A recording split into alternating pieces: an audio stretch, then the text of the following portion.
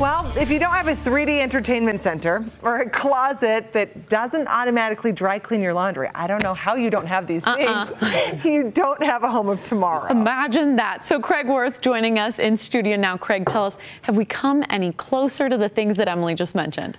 I don't think so. well, old films told us some of the things that we would have by today. Those things that you promised, I know that and a computer that lets you work remotely from your job on the planet Mars. Ah. Oh, yeah. Your fancy house, though, comes with a price. It could cost up to $7,200. Well, these are all past predictions of a future, a swell future. ah, the home of tomorrow. An ad in the Tribune says it will have a refrigerator with a handy tray. And what a space age design for 1934, although not nearly as modern as the Home of Tomorrow in 1964. But the Home of Tomorrow ain't cheap. About $8,500 in the Upper Yale neighborhood, or $72.50 on Gilmer.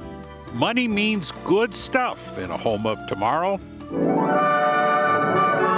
Yes, even in the 1940s, a modern kitchen was oh so great to even think about.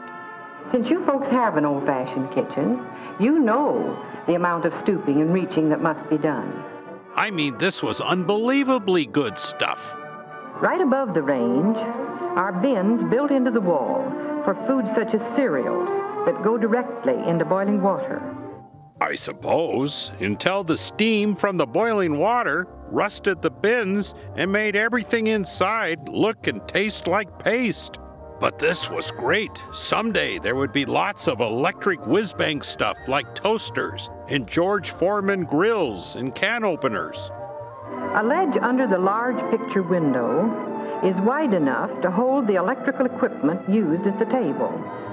Of course, nothing beat the look while you cook TV in a stove. Now that's what Channel 4 was pushing in 1948. Hottest TV shows in town. Yes, the kitchen of the future. But there was more to modern homes. In 1967, we took a look forward to, wow, 1999. 1999 AD. More than a generation away. And yet dreams travel faster than light. And the folks in the House of the Future had such cool jobs in 1999. Several days each week, he commutes to a distant laboratory where he's engaged in the Mars One project, the colonization of the first planet. And the kids, they would learn on these computers by 1999.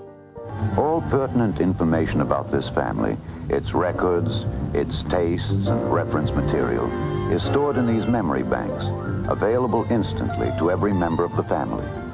With the Commodore VIC-20, the whole family can learn computing at home. What a world. There would be a medical couch that would scan for all that ails you. And this, a combo furnace, power station, and electronic garbage can, which somehow makes your own sunny photocell windows. Of course, they did kind of predict email. An electronic correspondence machine, or home post office, which allows for instant written communication between individuals anywhere in the world. My favorite? Well, listen. Clothing of the non-disposable variety will be stored in cleaning closets, where a chemical vapor atmosphere and an ultrasonic vibrator will remove dirt particles. A mattress with one side soft and the other side hard. And appropriately enough, it's called the Jack Sprat mattress. That air full of dry cleaning spray from your cleaning closet will really help you sleep a long time. All that gives you lots of time to party like it's 1999. How are things in Paris, Pete? Family settled down okay? And big screen entertainment. Mike, would you make me a dupe of that? I'd like to show it to some friends of ours who spend a lot of time down there. Sure. Well, I guess you want it in 3D, huh? Yeah, we finally made the switch. You got to keep up with the times, you know. Oh, yeah. And of course, there was the kitchen. Split second lunches, all part of the instant society of tomorrow. And all available just past 80th South in modern Utah.